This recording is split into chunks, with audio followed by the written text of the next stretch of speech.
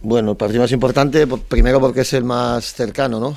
Faltan, ya estamos en esas 30 últimos puntos, 10 últimas jornadas. Nosotros queremos meternos, queremos pelear ese playoff y lógicamente en casa es muy importante el sumar todos los puntos que, podamos, ¿no? Lo más importante, aparte de la rivalidad y de, de lo especial que es el partido, yo creo que clasificatoriamente sea el Jerez el que venga o sea el Ceuta, el partido es muy importante para nosotros. Queremos seguir peleando, queremos seguir metidos ahí y vamos todo el año peleando y, llega el final de la temporada y estamos pues muy ilusionados con, poder conseguir esa plaza de playoff y poder pelear el ascenso, no es lo más importante.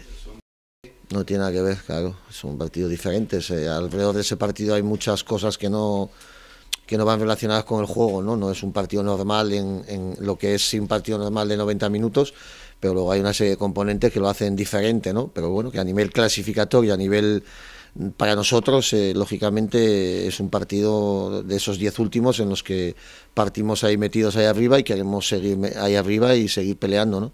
Yo creo que no hay favoritos, ellos vienen en el mejor momento, nosotros tenemos mucha gana de, de, ganar y, te repito, de meternos ahí. Sabemos que nos van a meter en muchas dificultades, pero nosotros también vamos a intentar meterles en todas las dificultades. Cada uno jugará con, con sus armas.